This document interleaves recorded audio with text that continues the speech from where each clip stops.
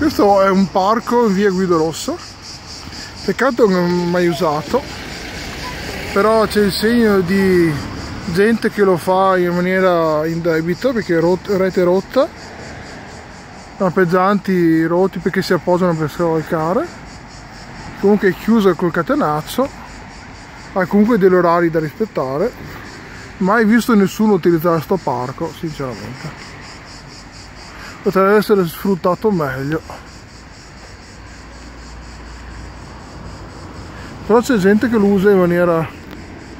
poco accorta quanto pare